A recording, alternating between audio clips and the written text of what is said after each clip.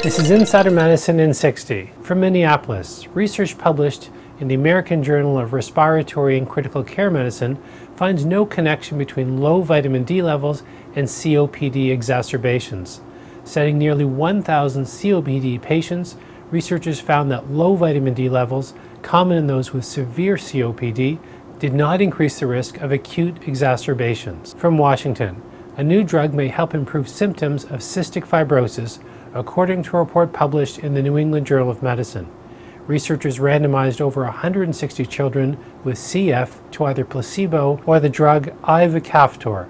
Results showed that the drug improved lung function after just two weeks and that after 48 weeks, children taking the medication were 55% less likely to suffer an exacerbation. And finally, from Greece, the Mediterranean diet can help reduce symptoms of sleep apnea, according to a report published in the European Respiratory Journal.